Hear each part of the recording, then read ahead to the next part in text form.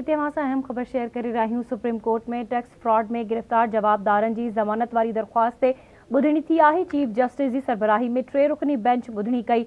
अदालत दरख़्वास्त वापसि ते ख़ारिज करे छॾी। Chief justice Qazi Faez Isa case जी ॿुधणी दौरान रिमार्क्स ॾिना त वाइट कॉलर क्राइम को आम ॾोह नाहे। वाइट कॉलर क्राइम सां मालिक खे घणो नुक़सानु पहुतो आहे। को ज़बरदस्ती कंहिंजे अकाउंट में पैसा कीअं थो विझी सघे आम ॾोह नाहे। जवाबदारनि खे ज़मानत कहिड़ी बुनियाद ते ॾियूं?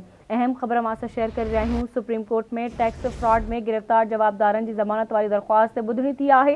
चीफ जस्टिस की सरबराही में टे रुकनी बेंच ॿुधणी कई है अदालत दरख़्वास्त वापस वे ख़ारिज करे छॾी। Chief justice Qazi Faez case जी ॿुधणीअ दौरान रिमार्क्स ॾिना त वाइट कॉलर क्राइम को आम ॾोह नाहे।